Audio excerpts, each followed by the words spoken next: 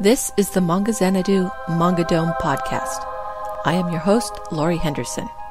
Join me on this journey into the world of manga, where a river of reviews flow through caverns of commentary down into the latest news. Welcome to the Manga Dome.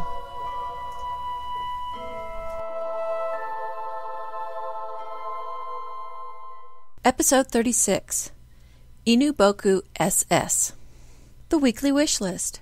I guess I'm making up for last week's overload with a tiny list this week. Well, to be honest, it's a small release week too. First is Knights of Sidonia Volume 6 from Vertical. I reviewed Volume 1 in the second episode of this podcast and haven't lost interest since. Volume 5 left on a cliffhanger, so Volume 6 is a must. Over at Viz is the second volume of Voiceover, Seiyu Academy. I like the first volume well enough that I want to read the second volume. Also from Viz is Magi Volume 3. I haven't read the first volume yet, but it seems to have potential, so I will put it on the list tentatively. The VizManga.com update. The top 10 list at VizManga.com this week was a bit like a slide puzzle, with the top four just switching places around. For the week of November 26, 2013, Yu Yu Hakusho returns to the top spot with Volume 6 coming in at number 1. Nisekoi Volume 6 moves back up 1 to number 2, while Skip Beat moves up 1 with Volume 14 at number 3. Naruto Volume 63 falls 3 to number 4, and Gimmick Volume 3 breaks the top 5 at number 5. Hanakimi prepares to wrap up with Volume 22 coming in at number 6, while a Yu-Gi-Oh! final double hitter strikes with R Volume 5 coming in at number 7, and Millennium World Volume 7 coming in at number 8. Love Com falls 1, with Volume 14 coming in at number 9, and Double Juliet Volume 6 debuts at number 10. Well, not much change here. There was some rearranging of the top five, but no big surprises. There are still two Yu Gi Oh titles, but they are also the final volumes for their respective series. I wonder what will happen once there are no more new titles coming out. The only real new addition to the list is the backlist title, Double Juliet. I still think it's interesting that backlist titles continue to dominate digital, including taking the top spot. New York Times bestseller list.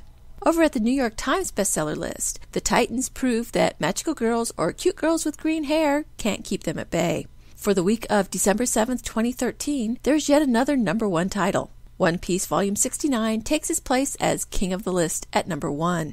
Right behind it is Attack on Titan Volume 9 holding steady at number 2. The Titan Horde continues with Attack on Titan Volume 3 moving up 7 to number 3, while Volume 1 only moves up 2 to reach number 4. Pokemon Black and White Volume 10 returns to the top of the top 5 at number 5. Attack on Titan Volume 2 also returns to come in at number 6, while last week's number 1, Sailor Moon Short Stories Volume 2, falls 6 to come in at number 7. Demon Love Spell Volume 5 returns to number 8, as does Maximum Ride Volume 7, which comes in at number 9, and Naruto Volume 63 makes one last drop to come in at number 10. Most of Yen Press's newcomers last week didn't last. With Christmas fast approaching, it shouldn't be any surprise that Attack on Titan got a surge. The return of titles like Pokemon Black and White, Demon Love Spell, and Maximum Ride aren't surprising either, as they will no doubt find homes under some Christmas trees. Review Inuboku SS Inuboku Secret Service Volume 1 I have developed an all encompassing love of all things yokai, so when Yen Press announced Inuboku SS, I was of course interested in reading it. It is about Ririchiro Shirakiin, a girl from a family of old money who also has Ayakashi blood as a genetic throwback to a human ancestor who coupled with an Ayakashi. She moves to Maison de Ayakashi because she wants to become independent, but everyone who moves into the apartment building is assigned a member of its secret service. Soshi Mike Tsukami is assigned to Ririchiro, and he is about as devoted and protective as a dog, much to Ririchiro's chagrin. It is by Cocoa Fujiwara and is published by Yen Press. It is rated for older teen and is a supernatural romance. It retails for $11.99. I had my doubts about this volume as I started to read it. I wasn't sure what to make of Ririchiro at first. She speaks without thinking and comes off as mean and blunt. She immediately regrets her words, but doesn't know how to apologize properly. She is very awkward socially and is sincere in wanting to change. I didn't like her at first, but as I continued reading, I found her growing on me. I found myself sympathizing with her as bits of her past is revealed. I also found her naivete endearing, since she wasn't so much clueless as inexperienced in dealing with someone having feelings for her. That someone is Soshi. He is very over the top at first with his devotion to Ririchiro. He asks her to dispose of him when she tells him she doesn't need him at first. He waits outside her apartment for hours until she comes out. He even overreacts when she just leaves him alone for a few minutes while they are shopping. The devotion does get annoying at times, which makes his few moments of true feelings not as genuine. I could see where Ririchiro started to grow because of her contact with Soshi, but I really didn't see any good changes in him. The rest of the cast is an eccentric bunch. Ririchiro's childhood friend, Sorinozuka, also lives in the building. He knows Ririchiro well and isn't fazed by her personality. He has Ittan-momen blood in him, and he spends as much time as a bolt of cloth as he does as human. His secret service is Nobara Yukinokoji. She has very Yuri inclinations and is immediately taken by Ririchiro. I really didn't care for her.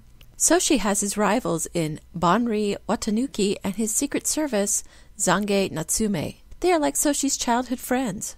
Watanuki is more for comedy relief, while Natsume has a more mysterious air as he seems to have some kind of second sight.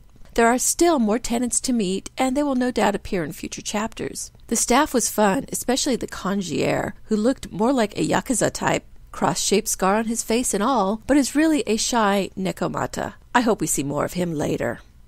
Ririchiro and Soshi have a past connection that is hinted at throughout the volume, and it ends with the impression that Soshi doesn't want Ririchiro to know about it. My curiosity about this overrides my dislike for some of the more fan servicey things in the book. Ririchiro's skirts are just short of being too short, and Yukinokoji's tendencies as well as chest feels to me they were more for the male audience. While these moments do tend to be minor, they can be irksome at times. Overall, I did like Inuboku SS Volume 1, but I didn't love it. But I do think it has enough potential for me to give it another volume. The variety of yokai is nice, with both more common types like Yukidono and Kappas, as well as Orochi, Zashiki, Warashi, and Hyakume. The art is nothing to complain about, and most everyone is a bishi. Even the yokai forms are good looking. This title isn't going to be for everyone, but if you like yokai and supernatural romance, then pick up the first volume. I give Inuboku SS Volume 1 a 3.5 out of 5 stars. Thank you for listening to the Manga Xanadu Manga Dome podcast. You can find links to the stories and books discussed here in the show notes at manga.jadedragononline.com. You can email me with any questions at xanadu at jadedragononline.com or leave a comment on this post. Rate me on YouTube and follow me on Twitter at Manga Xanadu, all one word. Until next time, Farewell from the Manga Dome.